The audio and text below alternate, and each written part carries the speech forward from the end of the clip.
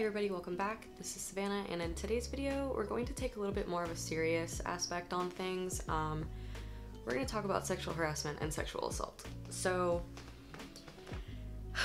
this is like so awkward. I've been wanting to make this video for a really long time because I think this is something that needs to be known and I hope that the people that I talk about in this video end up watching this because the way that some of the things were handled that I'm about to talk about are honestly very disappointing, um, especially because some of the leadership roles of the people that handled this these situations with me um, they didn't handle them properly and it sort of makes me wonder because like they have kids they have daughters. So i'm just curious as to what they would do if you know, the roles were reversed or switched and something like this that happened to me happened to their daughter. Like, would they handle it the same way?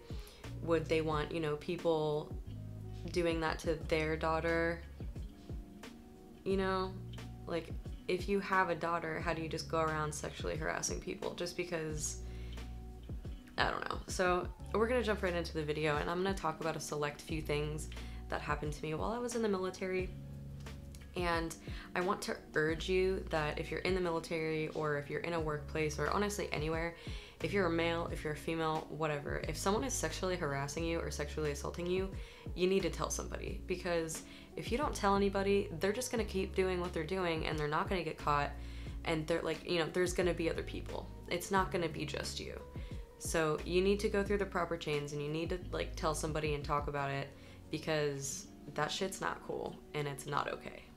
So I have a little list here. I'm just gonna essentially go down the list because um, I wrote down just a couple things that I remember happening to me. So the fir- I'm not gonna mention any names, but I just want to say that this first individual that I'm gonna talk about was weird from day one. The very first day that I met this person, they were extremely weird. They like I was the new private. Like people make memes about this shit I was the new private in the military at the unit, and he wanted to be the person to introduce himself to me first. He was married at the time, he has a daughter, and pretty much he would always just like, when a soldier is in processing, they don't need a chaperone. They usually assign someone of either like the same rank or someone higher than them, I guess, like just a little bit higher than them, you know, to show them where they need to go and you know they give them their in processing paperwork in processing paperwork and then they like let them go on their way and do what they need to do.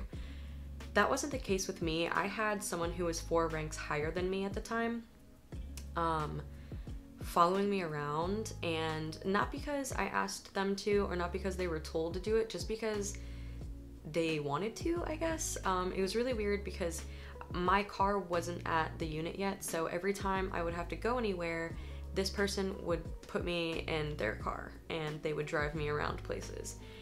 Um, and as time went on and we got to know each other a little bit better and I got to make more friends at the unit and everything, this person would always say really weird shit to me like, hey, like, I saw you on Tinder, like, just to see what I would say. Um, and at that point, I was married. I wasn't on Tinder, so that's like, like picking. Like, you know, fishing, seeing if he could get me to say something like, oh no, I'm in a contract marriage. Like, no, bud. He also would say things like, you know, we would get in so much trouble if we hung out outside of work. Like, we're not gonna do that, pal. Like, I don't, I, I don't even know why you would think that would work on anybody. Like, is that like a line you use? To pick up girls or like what it, what else would you expect me to say? Like oh no we should totally hang out. No. No not gonna happen. The one of the final straws was when one of them one of the final straws was when this person came up to me and uh, so i had fast forward i had gotten a divorce. I had gotten separated for a year and then i got a divorce so I was at the unit for a while and I knew everybody. I knew this person very well. I knew, you know, everybody at the unit very well. And this person pulled me into his office and he covered up his rank and he said, Hey, I just want to talk to you like person to person really quick um, because I've been hearing some things. And I was like, okay, like, what is it? And he was like, you need to stop fucking people in the barracks. And I was so shocked because, first of all, I had not had sex with anybody, especially in the barracks. Second of all, I had just gotten separated and divorced by someone that I was married to and, you know, together with for six years. So I had just gotten out of a six year relationship. Do you really think I want to just go out and start fucking people in the barracks? No, not at all. Like, that's the last thing on my mind. I was now a single soldier. I was a specialist at the time, and I wanted to go to the barracks because that's where all of my friends were. And if you're in the military, even if you're not in the military, everybody goes to the barracks on the weekends, like to party, to drink, whatever, because nine times out of ten, everybody's already there and everybody's already drinking. So that's where I went. All of my friends were single soldiers that lived in the barracks. That's literally why I was there. So for someone to just like come at me so sideways without knowing any information about me or my situation or especially like an NCO trying to like get into my sex life like that it really caught me off guard and there was so many other inappropriate things that have been said to me by this certain individual so many times before that that I like that was like my last straw. I was like, we're not like we're not doing this like friendly thing anymore. If you're not gonna be completely professional, I don't wanna fucking hear it. So that shit pissed me off and I walked out of the office. Well, later on that day, this is where it gets ridiculous. Later on that day, I was trying to do a leave form, and this individual comes up to me because I was at the printer, I was printing out my leave form. He comes up to me, touches my butt, and then shows me my leave form and tells me that I have a mistake on it. So I turn around and I was like, like, did you just touch my butt? And he's like, "Oh yeah, I just want to like show you something. There's something wrong with your leave form." And I was like, thinking like, "So you, you touch my butt? Like you touch my butt to get my attention? First of all, don't touch me at all. Second of all." What? Like, you're a grown ass man, you're married, you have a pregnant wife right now. Like, everybody thought it was like a contract marriage, and it wasn't. Like, you have a pregnant wife right now, and you're at work touching your own soldier's butt. Like you were my platoon sergeant. What is up with that? So I take the day because that was like the final straw. Like, don't lay your hands on me. That was just ridiculous. I take the day to kind of calm down, think about it, and think about if I'm gonna report this or not. Because I'm the type of person that I'm like, it's really hard to offend me, believe me. I worked with only men for a very long time. Like, I am I probably have like one of I have the thickest skin of almost anybody that I know.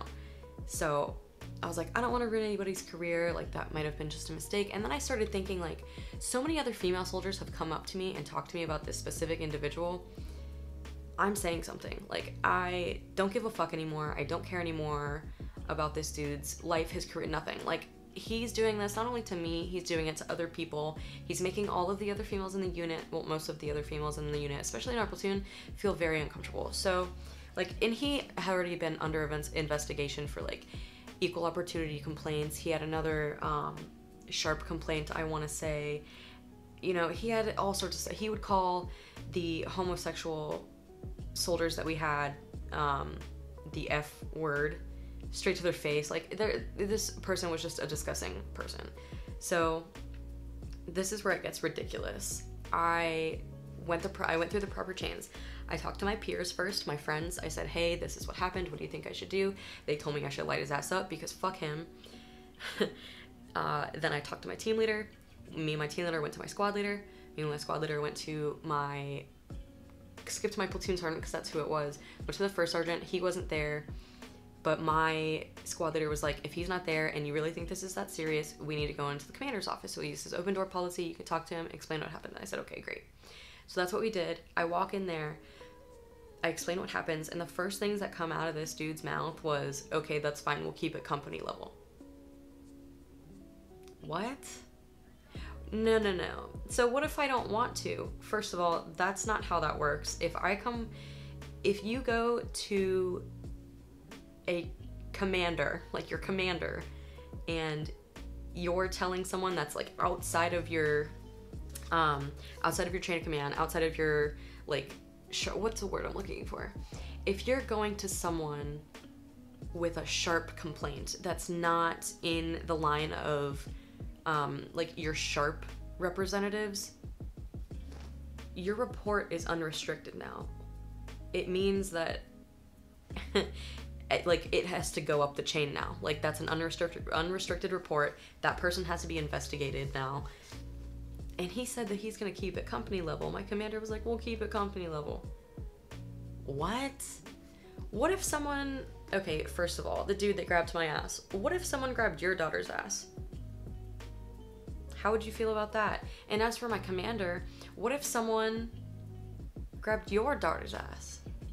How would you feel about that? Like, you're supposed to protect me. You're supposed to be the person that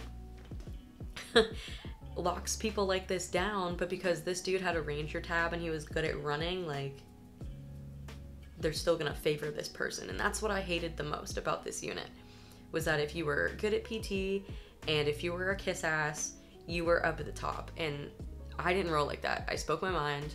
I fucking tried to do the right thing as much as I possibly could. But people who were just shitty people made it to the top somehow. And that's one of the reasons why I got out of the military because this is ridiculous. So after all of that happened, fast forward to a year later, this NCO was still doing things like that. This NCO was still making people people feel uncomfortable. He was still, you know, like teeter tottering on EO and SHARP. So our command and climate survey comes around, and this essentially a command and climate survey is a survey that it's anonymous and you can put your name on it if you want to. And you pretty it asks you a bunch of questions like have you ever thought about committing suicide? You know is there anything going on at your unit that we need to talk about? Blah blah blah. So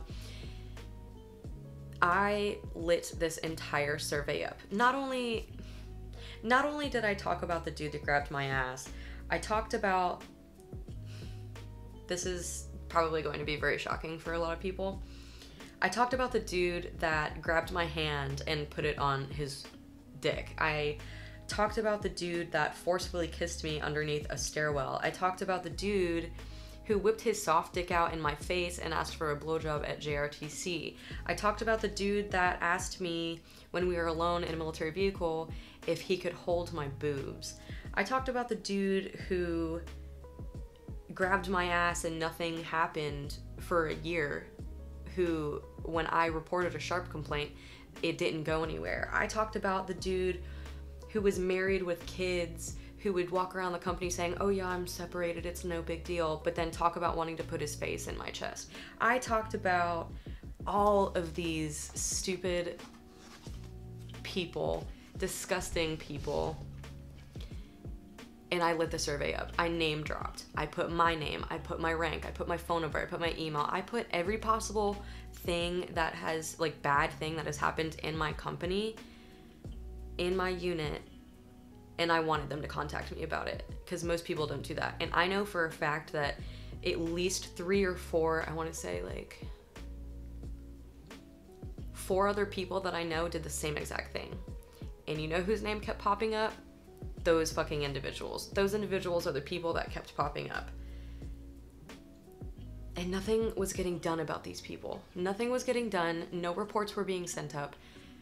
So these surveys are viewed it was a battalion wide it wasn't a company wide because i put it in the company and nothing the company wide surveys and nothing ever happened so these were a battalion wide so these surveys go straight to your command sergeant major and go straight to your battalion commander well about a week later when my survey was you know the one at the top of the stack and they got wind of this we had a emergency and very hasty SHARP and EO training the next day, I get a phone call from my first sergeant after I'm already at home. It was like 7 o'clock at night, saying that I needed to come back in because my command sergeant major wanted to talk to me in person.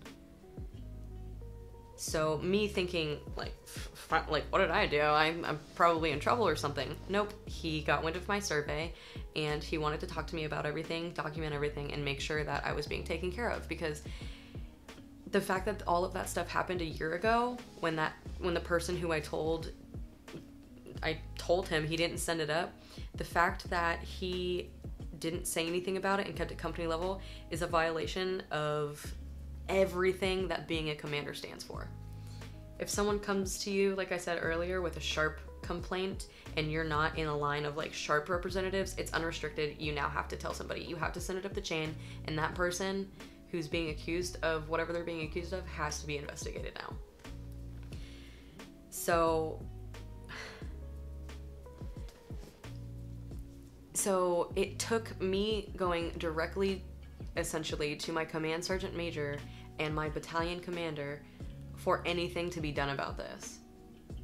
Within, I want to say, two days, all of those people were on a no contact order with me. They got moved out of the company. They got a, like an immediate investigation put on them. And then lo and behold, as soon as I say something, everybody else wants to come out and say something too because they were afraid that their voice wasn't being heard. Because nobody in my unit was taking shit like this seriously. Nobody wanted to talk about it. Nobody wanted to say anything about it. The other people who have been victimized essentially by this person also came forward. And other people who had been victimized by other people also came forward. So now all of the sudden, we had, I want to say, six SHARP complaints out of nowhere because of my survey. We had three EO complaints, and all of this stuff happened in one week. One week's time, these people had complaints against them, they had open investigations against them, they had been moved out of our unit, and two of them got kicked out of the military. So, I just want to let you know that this shit is serious, and if you're one of the people that are going around doing stupid shit like this, literally shame on you. You are the worst scum of the earth person, and you need to reevaluate your life. So, fast forward to about three months after this, the investigations are starting to close because so many people have been, you know, interviewed and everything. They're taking people out of work to come like for hours to be investigated about this stuff um, and interviewed. They're, you know, getting proof, they're getting text messages, they're getting pictures, they're getting all sorts of evidence to give these people Article 15s to kick them out of the military. This shit is serious and it's it is serious. If your chain of command, if your NCO support channel, if your line of SHARP representatives or EO representatives are not taking this shit serious, use the open door policy and go talk to someone higher than that because it is absolutely pitiful if you are having the courage to, you know, have something happen to you and then talk about it and no one wants to take you seriously or they just want to keep a company level because they don't want their command time to look like a shit show when it was a shit show, that's bullshit. Like, you need to talk to someone else, and I really hope that you do. So, that is my story. I don't feel bad about ruining anybody's career. They did it to themselves. I don't think that I ruined anybody's career because they would still have career if they weren't grabbing ass and calling people names that are homophobic. They wouldn't, you know, they wouldn't be in jeopardy of getting kicked out of the military if they weren't doing extremely rapey things to other people. And like I said, this happened from like on way more than one occasion and from way more than just one person.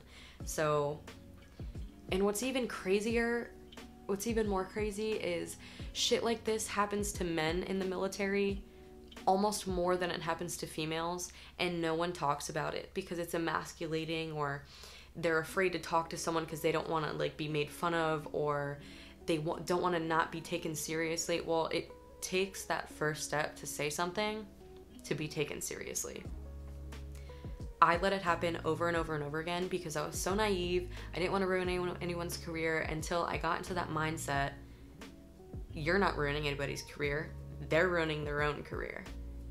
And if you don't say something, there are going to be more people that it happens to. There are going to be more things that happen. So, in order to break that system of this person continuously doing toxic and inappropriate behavior, someone needs to say something to put a wedge in it, nip it in the bud, fucking do something about it. Because it's just gonna continue if no one says anything. So I hope anybody that watched this video found any of the information useful. Um, a lot of it is probably very shocking to most of you. So, um, yeah, I think I'm gonna leave the video at that. I feel awkward ending this video this way, but as always, like, subscribe, hit the notification bell so you're always notified when I post a new video, and leave me a comment down in the description box about anything involving the topic that I just talked about that you feel comfortable talking about. I will see you guys in the next one.